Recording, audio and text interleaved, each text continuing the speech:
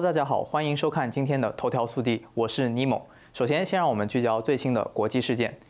美国众议院委员会通过允许总统禁用 TikTok 法案。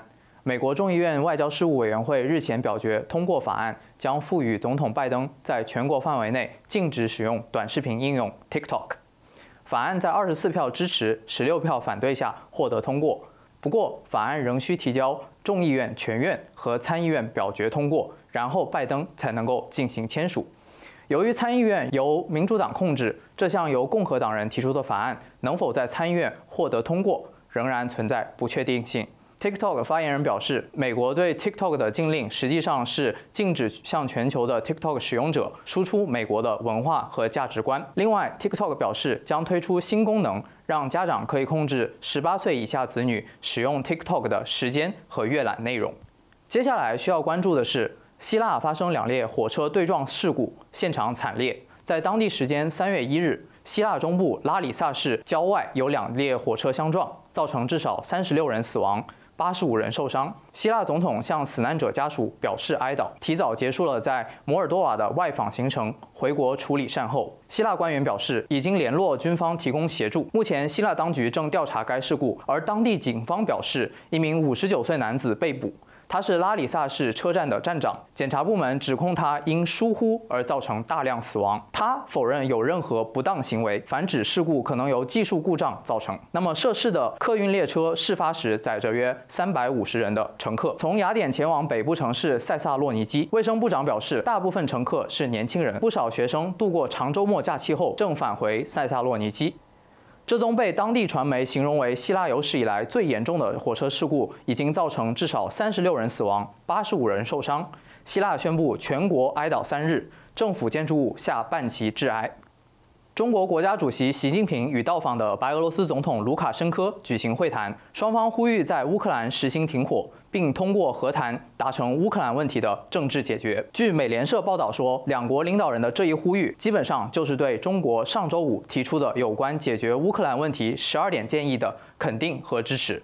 中方虽然在建议中提出尊重所有国家的领土完整。但是却没有谈及如何处理俄罗斯入侵乌克兰之后所占领的乌克兰领土的问题，也没有谈及和谈程序将如何进行的细节。正因为这些原因，中方的和谈建议遭到美国和西方的拒绝。乌克兰表示礼貌的观望，而连俄罗斯也坦言，目前谈论这一和谈计划还为时尚早。会谈中，卢卡申科表示，白方愿同中方就重大国际问地区问题加强协作，共同致力于维护国际地区安全稳定。在会谈后，两国元首共同签署有关进一步发展两国全天候全面战略伙伴关系的联合声明，并见证签署经贸、工农业、海关、科技、卫生、旅游、体育等领域的多项双边合作文件。接下来，让我们聚焦一下俄乌战事。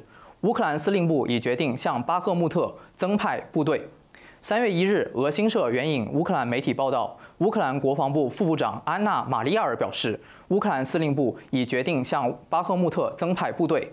玛利亚尔在电视直播中表示，乌克兰地面部队指挥官亚历山大·塞尔兹基在访问巴赫穆特期间决定向该市增派部队。据他介绍，巴赫穆特局势复杂紧张，俄军将主要精力集中在那里。试图完全控制顿涅茨克地区，玛利亚尔表示，巴赫穆特地区有专业且数量众多的瓦格纳部队，但敌人的损失非常大，是乌军的很多倍。最近两天，俄罗斯西部好几座城市都遭到乌克兰无人机攻击，至少两座黑海储油槽起火爆炸。还有一架乌克兰国产无人机坠毁在莫斯科近郊一百公里处。在本周二，圣彼得堡也发现不明飞行物，导致方圆两百公里领空一度禁飞。乌克兰总统泽连斯基的顾问罗德尼扬斯基二月二十八日表示。如果有必要，乌克兰军队可能会从巴赫穆特战略性撤退。他强调，我们不会白白牺牲所有的人。那么讲到俄乌战事，我们就不得不提到最近泽连斯基的讲话引起部分美国民众的愤怒。一则乌克兰总统泽连斯基讲话片段在社交媒体疯传，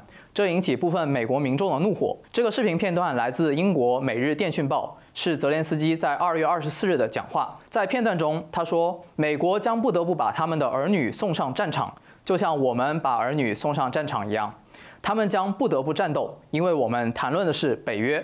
他们将会牺牲。据悉，这是俄乌冲突一周年当天，二月二十四日，泽连斯基在面对各国记者的新闻发布会上做的表述。